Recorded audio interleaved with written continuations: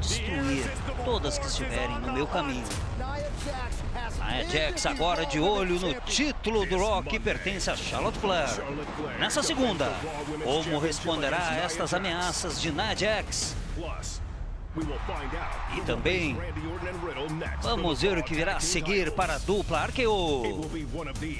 Quem será o adversário deles entre essas sete duplas?